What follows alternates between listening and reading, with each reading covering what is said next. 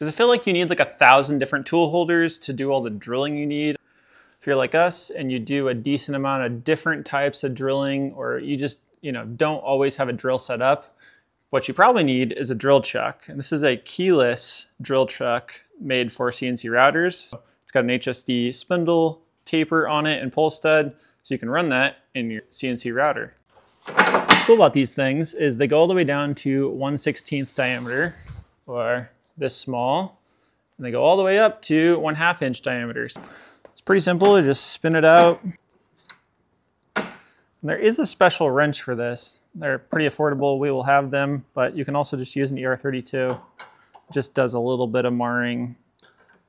And it's just like on our drill press and put it on our CNC router, except for it's a little better. Definitely better run out. This sounds like you. Uh, just grab one to two of these and then you don't need all of these different collets and tool holders set up or need to tear something down just to do a quick one-off job. You grab your keyless drill chuck and just do that instead.